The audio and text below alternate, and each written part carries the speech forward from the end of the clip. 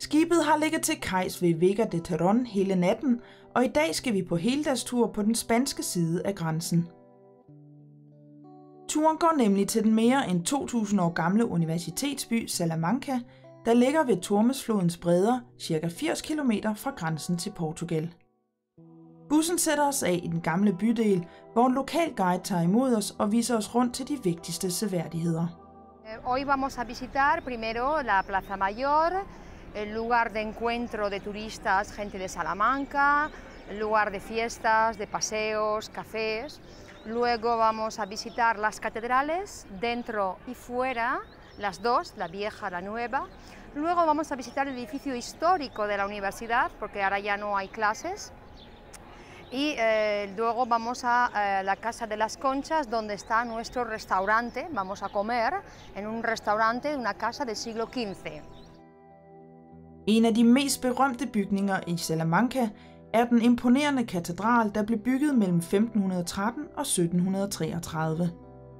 Katedralen er konstrueret i en smuk blanding af gotisk og barok stil, hvilket er mest tydeligt i det 92 meter høje klokketårn, hvis øvre og nedre del er bygget i hver sin stilart. Katedralen er udover at være religiøs samlingspunkt også hjemsted for flere storkefamilier, hvis redder ligger gemt mellem de mange spire. Rundt om katedralen ligger bygningerne, der danner Salamancas hedderkronede universitet, som blev grundlagt i 1094 og er dermed Spaniens ældste universitet og Europas næstældste. Universitetet har i dag omkring 28.000 studerende fra hele verden, hvilket også betyder, at gadebilledet er fyldt med unge mennesker, der enten tager på lektier eller bare slapper af og hygger sig på de mange torve og pladser til tonerne af gademusikantens klassiske spanske guitarspil.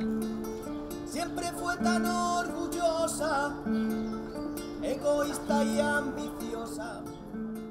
Mange af de berømte spanske opdagelsesrejsende har for en tid haft deres hjem i Salamanca, og byen har også haft en vigtig rolle under adskillige krige, ikke mindst under den spanske borgerkrig i årene 1936-39. Her var byen de facto hovedstad for Frankos nationalistiske styre.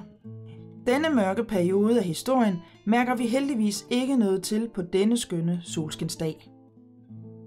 En god tur rundt i den gamle bydel giver en sund appetit, og de mange caféer og restauranter i byen byder på masser af lækre spanske retter, men Salamanca er især kendt for en helt speciel delikatesse. La especialidad, aquí comemos mucha carne, normalmente carne de cerdo porque tenemos una denominación de origen, jamón de guijuelo, pata negra, bellota. Cuando el cerdo come la bellota es muy especial el sabor. Eh, el cerdo se cría en el campo, en libertad, por eso el sabor es más especial. El problema, un poquito el precio más caro que el jamón normal. Alt i alt byder Salamanca på rigtig mange spændende oplevelser, både kulinarisk og historisk. En fantastisk spændende by, ja. Og øh, der sker jo en masse ting, og jeg kan se, at, at der er en masse unge mennesker og det giver altid noget godt liv her i byen. Sådan, når man ser og kigger på en forstadsrestaurant dernede, så kan man se, at, øh, at der, der sker noget, og der kommer også en masse turister. Hvilken tid på året er det bedst at besøge Salamanca? Lo mejor, primavera, es muy bonito el mes de abril-mayo, pero a veces llueve. Pero es muy bonito, el campo está verde, las flores. Y luego muy bonito también es el otoño, septiembre, octubre, noviembre está bien. En verano hay, hace mucho calor.